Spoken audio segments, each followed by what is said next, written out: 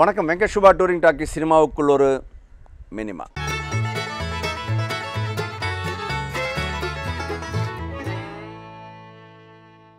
பொதுவாக சினிமாவில் வந்து டேரக்டர் ஆகுறது ரொம்ப கஷ்டமான விஷயம். பட் இப்போ நவடேஸ் எப்படி இருக்குன்னா யார்ட்டையும் டேரக்டராக வேலை பார்க்க வேண்டாம். ஸ்ட்ரெயிட்டாகவே டேரக்ட் பண்ணலாம்னு நிறைய பேர் வந்துட்டாங்க.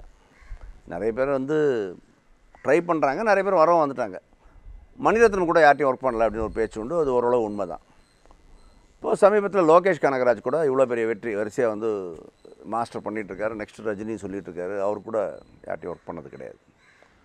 பட் நான் சொல்ல போகிறது ஒரு விமன் டைரக்டர் அவங்க வந்து ஸ்டேஜ் ஆர்டிஸ்ட் ஸ்டேஜில் வந்து இங்கிலீஷ் ட்ராமாலாம் நிறைய நடிச்சிட்டு இருந்தாங்க. தேட்டரில் இருந்தவங்க திடீர்னு சினிமாவுக்கு வரணும்னு ஆசைப்பட்டு அவங்களுடைய எங்கேயோ ஒருத்தர் அவங்க ஃப்ரெண்ட் சர்க்கிளில் வந்து நிறைய சினிமாக்கள் உண்டு.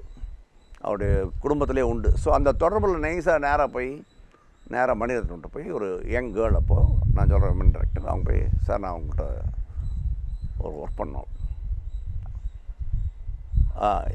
எல்லோரும் என்ன சொல்ல வச்சுருக்காங்கன்னா ஒர்க் பண்ணிட்டா உடனே டேரக்டர் ஆகிடலாம் இல்லையா? அதுக்கு தான் சார் வந்திருக்கு பட் அதுக்கு முன்னாடி ஒரு வேலை இருக்குது என்னென்னு? படிக்கணும். எங்கேயாவது ஒரு இடத்துல ஒரு இன்ஸ்டியூட்டில் ஒரு இடத்துல போய் கொஞ்சம் பேசிக்காக கொஞ்சம் தேரி என்னன்னு தெரிஞ்சுட்டு வந்தீங்கன்னா எனக்கு ஈஸியாக இருக்கும். தயவு செஞ்சு யார்ட்டையாவது கொஞ்சம் ஏதோ ஒரு நல்ல இன்ஸ்டியூஷனில் ப்ராப்பராக படிச்சுட்டு வாங்க. என்னை பொறுத்த வரைக்கும் கொஞ்சம் பேசிக் தேரி இருக்கணும். அப்புறம் கொஞ்சம் அனுபவம் இருக்கணும். இல்லைனாலும் பரவாயில்ல. அப்புறம் டைரக்ட் வரணும். சொன்னது யார்? மணிரத்னம். ஸோ சிறமேற்கொண்டு அதே இன்ஃப்ளூயன்ஸை வச்சுக்கிட்டு மெட்ராஸ் இன்ஸ்டியூட்டில் போய் ஜாயின் பண்ணிட்டாங்க.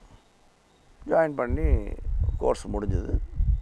நெக்ஸ்ட்டு நேராக போய் இப்போ மறுபடியும் அதே மணிரத்னம். சார் முடிச்சுட்டு விட்டேன் சார் இப்போ கொஞ்சம் கேப் இல்லாமல் பார்த்துக்கலாம் ஆனால் அவங்க அசரலை. டக்குன்னு அப்படியே ஜம்ப் பண்ணி சுகாசினி மேடம்கிட்ட கொஞ்சம் ஒர்க் பண்ணோம். சுகாசினே இப்போ வந்து இந்திரான்னு படம் பண்ணுறாங்க அவங்களுக்கு ஒரு விமன் டேரக்டர் தான் கம்ஃபர்ட் இருக்கும் ஓகேன்னு சேர்த்துக்கிறாங்க.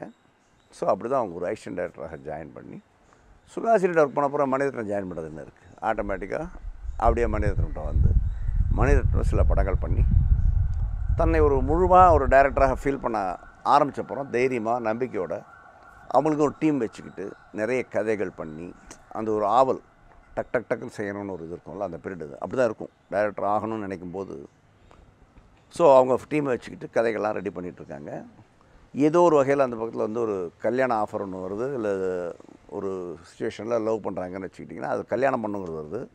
கல்யாணம் பண்ணுறதா டைரக்டர் ஆகிறதான ஒரு ஆசிலேஷனில் இருக்கும்போது. இதுதான் சினிமா அதாவது எப்படி நடக்கும்னு யாருக்கும் நடக்கும் தெரியாது. அவங்களுக்கு தெரிஞ்சது மணிரத்னம் ஒர்க் பண்ணது சுகாசினி இருக்கிற சர்க்கிள் பெருசு. அவங்க வந்து ஒவ்வொருத்தட்டே அப்படி சொல்லும்போது இந்த சினிமாவில் வந்து ஈ ராமதாஸ்னு ஒரு கேரக்டர் இருக்கார் அவர் வந்து யாருக்கு வேணால் எப்போ வேணால் ஹெல்ப் பண்ணால் அதை நிற்பார் அதாவது அவருடைய அனுபவத்துக்கும் அவருடைய கான்டாக்டையும் எங்கெல்லாம் அது யாருக்கு உதவுமோ அங்கெல்லாம் அவர் வேலை செய்வார். அதில் எந்த விதமான சங்கடம் இல்லாத ஆள்.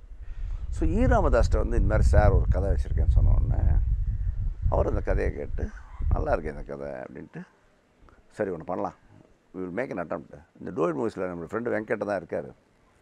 அவருக்கு நான் பேசுகிறேன் அப்படின்னோடனே எனக்கு ஃபோன் பண்ணுறேன் நான் ஒரு இளநீர் கடையில் இளநீர் குடிச்சிட்ருக்கிறேன். ஒரு ஃபோன் வருது ராமதாஸ்லேருந்து ஏவா கண்ணு ஒரு கதை கேட்டால் நல்லாயிருக்கு ஒரு உமன் டைரக்டர் பிரமாதம் சொல்கிறாங்க நீ கேளு கேட்டு கொஞ்சம் அப்படியே பிரகாஷ் ராஜ் சொல்லி விடு ஏன்னா அவன் தான் கரெக்டான ஆள் புது ஆளெலாம் தள்ளுறதுக்கு. டக்குன்னு ஹெல்பிங் ஹேண்ட் வரும். சரி வர சொல்லு கேட்கலான்னுது. அது ஒரு பதினோரு மணி வச்சுக்கிட்டிங்கன்னா ஒரு மணிக்கு அந்த மாதிரி என்ட்ரு ஆகிறாங்க. மூணு மணிக்கு கதை சொல்லி முடிக்கிறாங்க. நாலு மணிக்கு நான் பிரகாஷ் ராஜுக்கு பேசுகிறேன் பிரகாஷ் ராஜுக்கு ஆச்சரியம். என்னையா இது? இருவரில் நான் ஒர்க் பண்ணது என் கூட அவ்வளோ வேலை பார்த்த பொண்ணு அது. என்கிட்ட ஒரு கதை இருக்குன்னு சொல்லாமல் ஓன் ரூட்டில் வருதுன்னு ஒரு சின்ன ஒரு இது. அதெல்லாம் இல்லை கதை நல்லா இருக்குது தயவு செஞ்சு கேளுன்னு நாலு மணிக்கு போய் கதை கேட்குறாங்க நாலு அஞ்சு மணிக்குள்ள டக்குன்னு போய் அங்கே போய் கதை சொல்கிறாங்க ஒரு ஏழு மணிக்கு நான் படம் பண்ணுறேன்னு சொல்லிட்டாரு. யோசிச்சு பாருங்கள் எவ்வளோ ஃபாஸ்ட்டு ஒரு படம் பண்ணணும்னு நினைக்கும் போது ரெண்டு வருஷம் படிங்கிறாங்க ஒரு வருஷம் படிங்கிறாங்க ஒர்க் பண்ணுன்றாங்க எவ்வளோ நடக்குது? அந்த மினிட்ல ஒரு சிக்ஸ் செவன் ஹவர்ஸில் ஒரு படம் கம்மிட் ஆகுது. அந்த படம் தான். கண்ட நாள் முதல். அந்த டைரக்டர் பிரியா அதுக்கப்புறம் நிறைய மூணு நாள் படம் பண்ணிட்டாங்க. ஸோ படம் ஃபிக்ஸ் ஆகிடுச்சு யார் ஹீரோ அப்படின்னும் போது சித்தார்த் அப்படின்னு மனசுக்குள்ள இருக்குது பிரியா மனசில். எங்களுக்கு ரொம்ப ஹாப்பி சித்தார்த் வச்சு பண்ண போகிறோம் ஏன்னா மணிரத்ன ஸ்கூல் உடனே ஓகே சொல்ல போகிறேன்னு பார்த்தா அது உடனே ஓகே ஆகலை. சித்தார்த் வந்து இல்லை எனக்கு கொஞ்சம் டைம் வேணும்னு சொல்கிறாரு டைம் ஆகுது ப்ராப்ளம் வருது. அண்டு பிரகாஷ் வந்து கதையை கேட்டாச்சுன்னா அவருக்கு ஒரு சின்ன அவசரம் இருக்குது ஒன்று நினச்சாருன்னா உடனே பண்ணிவிடுவார் அது மாதிரி இவ பிரியா வந்து சித்தார்த் கிடைக்கல உடனே பிரகாஷால் சும்மா இருக்க முடியல. பிரகாஷ் ராஜ் சொல்லிட்டாரு இல்லை இல்லை வி ஆர் கோயிங் ஹெட் கதை ரெடி ஆயிடுச்சு. உனக்கு வேறு யார் ஆர்டிஸ்ட் டெக்னீஷியன்ஸ் என்னென்னு ஒன்று பாரு அப்படின்னாரு. அப்போ வந்து இதுமாரி லைலா வந்து ஹீரோயின் பேசியிருக்கோம் சூப்பர் லைலா வச்சுக்கலாம். அப்போ வேறு யார்? ஹீரோ யார்? அப்படின்னு இல்லை சார் சித்தார்த் கொஞ்சம் வெயிட் பண்ணால் நல்லாயிருக்கும் அதெல்லாம் பண்ண முடியாதுமா. ஏன் அழகிய தீன் படம் பண்ணியிருக்கேன். பிரசன்னா நம்ம பையன். நம்ம பிரசன்னாவோட போகிறோம் அதாவது அந்த கதையை நம்பினப்புறம் அவர் யாரையுமே நம்பலை பாருங்கள் ஸ்ட்ரெயிட்டாக சித்தார்த் அப்போ வந்து நல்ல மார்க்கெட்டில் இருக்கார். பிரசன்னா அப்போ தான் வந்துட்டுருக்கார். நம்ம அழகிய ஒரு ஹிட்டுன்னு வச்சுங்களேன். உடனே பிரசன்னான்றார். பிரகாஷ் ராஜ் எப்பவுமே அப்படி தான் இந்த பொய்ங்கிற ஒரு படம் வந்து நடந்த விதமே அப்படி தான் ஒரு நாள் ஒரு மாலை ஆறு மணிக்கு அவருடைய பாலச்சந்த் சாரோட உதவியாளர் மோகன் பேசுகிறாரு வெங்கட் சார் பாலச்சந்த் சார் ரொம்ப நாள் கழிச்சு ஒரு படம் பண்ணணும்னு நினைக்கிறாரு டைரக்ட் பண்ணணும்னு நினைக்கிறாரு.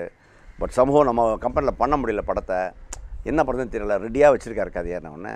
நான் என்னம்மா பண்ணுனேன் இல்லை சும்மா உங்கள்கிட்ட சொல்லி வச்சேன் அப்படின்னாரு. அவ்வளோதான் சொன்னார் மோகன். எனக்கு வந்து அது புரிஞ்சுது. நான் மட்டும் ஏன் சொல்கிறாங்கன்ட்டு நான் உடனே வந்து பிரகாஷ் இந்த மாதிரி பாலச்சந்தர் ஒரு கதை ரெடியாக வச்சுருக்காரு ஆனால் சமூகம் அந்த கம்பெனியில் பண்ண முடியலையா? சுச்சுவேஷன்ஸ் அப்படி இருக்குது அப்படின்னு சொன்னார் மோகன். அதுக்கு என்ன அர்த்தம் தெரியலன்னு. ரொம்ப சிம்பிள் அர்த்தம் கேட்டு நம்ம தான் எடுத்து பண்ணுறோம் நீங்கள் உடனே சொல்லுங்கள் நம்ம அந்த படம் பண்ணுறோம் மோகனுக்கு மட்டும் சொல்லிவிடுங்க நாளைக்கு நாளைக்கு அட்வான்ஸ் அனுப்பிச்சிருவோம் அப்படின்ட்டு. அவர்கிட்ட கதை கேட்க முடியாது. அட்லீஸ்ட் காஸ்ட் எவ்வளோ கேஸ்டிங் யாருன்னா கேட்கணுமே. எதுவுமே கேட்கக்கூடாது பாலச்சந்தர் அவர் படம் பண்ணுறா நம்ம ப்ரொடியூஸ் பண்ணுறோம் அவ்வளோதான் அது எவ்வளோ பெரிய பெருமை. அப்படின்னாரு. சரிங்க சார் மோகன்கிட்ட சொல்லிட்டேன்.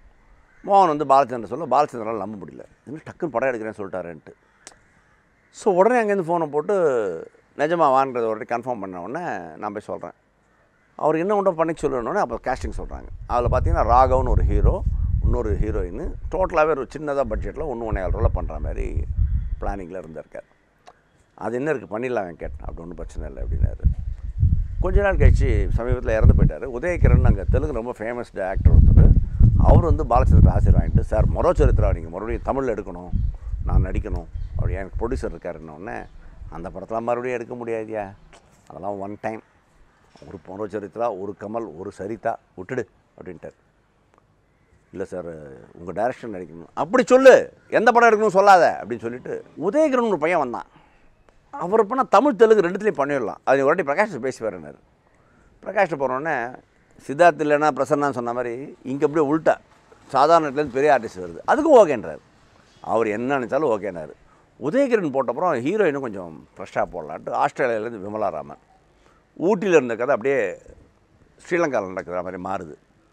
பட் எல்லாத்துக்குமே Prakash yes yes yes in fact புது டேரக்டர் இருந்தால் கதை கேட்டப்புறம் எஸ்ஸு இந்த மாதிரி அச்சீவ் பண்ணவங்களா இருந்தால் அப்படியே எஸ் இதுதான் பிரகாஷ் ராஜோட இது. ஸோ அந்த சட்டத்தில் வந்து சொல்லிட்டாரு நமக்கு வந்து சித்தார்த்திலனா பரவாயில்ல பிரசன்னான்ட்டார் பிரசன்னா கன்ஃபார்ம் ஆயிடுச்சு. பிரியாவுக்கு வந்து படம் கிடச்சிருச்சு பட்டு சித்தார்த்துலேருந்து பிரசன்னாவான்னு இருந்தது பட் பிரசன்னா வந்து ஒரு ஒன் டேலே கவர் பண்ணிட்டு நான் தான் அந்த ஹீரோன் செட்டில் ஆகிட்டான் கேரக்டரில் ஸோ பிரசன்னா லைலா அதேமாதிரி டெக்னீஷியன்ஸ்லாம் பார்த்தீங்கன்னா பிசி ஸ்ரீராம் வேணும் அப்படின்னு. அசரல பிரகாஷ் ராஜ் ஓகே பேசுங்கன்னாரு இன்ஃபேக்ட் அந்த காலத்தில் அந்த பட்ஜெட்டுக்கு பிசி சம்பளம் அதிகம் தான் அதான் பரவாயில்ல அப்படின்ட்டாரு. அதே மாதிரி பிசியும் ஒரு புது டைரக்டர் நம்ம கம்பெனியில் நம்ம ஃபுட்டு வந்தவங்கனால உடனே ஆக்கேன்றாரு ஓ PC Sriram next music Yuvan Shankar ராஜான்றாங்க. நம்ம அப்படிலாம் யுவன் சங்கர் ராஜாலாம் பண்ணதில்லை நம்ம அப்படி சின்ன சின்ன மியூசிக் டேரக்டராக பண்ணோம் ரமேஷ் நாயகம் பண்ணோம். அழகிய தீயலை அப்படின்னும் போது பார்த்தா அங்கேயும் பெருசு. பட் நல்லா யோசிச்சு பார்த்தீங்கன்னா பிரகாஷ் தெளிவாக அந்த ஹீரோ மட்டும்தான் குறைச்சாரு. தவிர இது எல்லாத்தையும் கொடுத்தாரு. ஸோ படம் ரெடி ஆயிடுச்சு. இதிலேருந்து ஒரு ப்ரொடியூசராக வந்து அவர் எல்லாமே பண்ணாலும் எவ்ரி டைம் கூடவே ஃபாலோ பண்ணுவார். படம் ரெடி ஆயிடுச்சு போட்டு பார்க்குறாங்க.